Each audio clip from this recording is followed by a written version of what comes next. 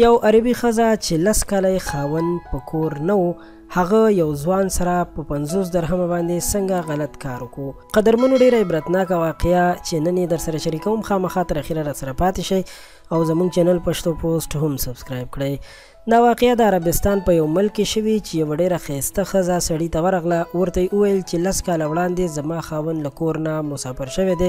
هیڅ درد درک یې نه لګي چې ژوندی دی او که مړ اوس زه غواړم ته زما مدد وکړې زه به تا ته پنځوس درهمه هم درکړم سړي ورته وویل چې اول کار ووایه څنګه مدد دې وکړم ښځې ورته وویل بس دومره وکړه چې ما سره قاضي پورې لاړ شه او هلته دا ګواهي ورکړه چې زه د دې ښځې خاوند یم او دې ته طلاق ورکوم چې ماته طلاق راکړل شي زه به تاته پنځوس درهم هم درکړم او بس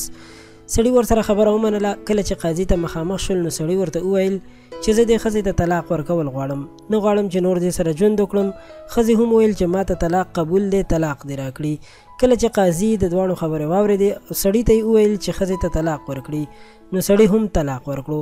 بیا ښځې وویل چې قاضي صیب زه دې سړي لس کاله یوازې پرېښی وم،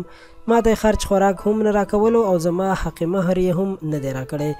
قاضي صیب د سړي نه تپوس وکړو چې ولې دې لس کاله دا ښځه یوازې پرېښې وه؟ هغه ورته وویل چې زه په بل ملک کې وم او سختو مشکلاتو کې ګیر وم ځکه مې دې سره رابطه نه شوه کولی.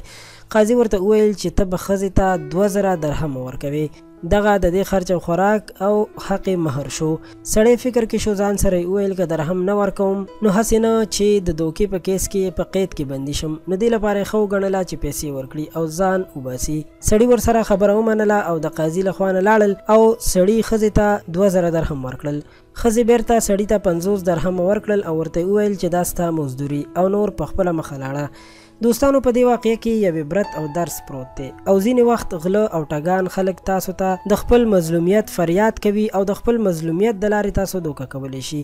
او ځینې وخت داسې لالچ چې زر به مالدار شم هم تاسو د دوکې ښکار کولی شي نو په هر وخت کې ډېر احتیاط کول پکار دي او هیڅ کله هم داسې کار نه دي کول پکار چې وروسته پر بیا پښیمانه شئ د ویډیو د کتلو مو ډېره مننه کوم پښتو پوسټ چینل در سره سبسکرایب کړئ ډېره ډېره مننه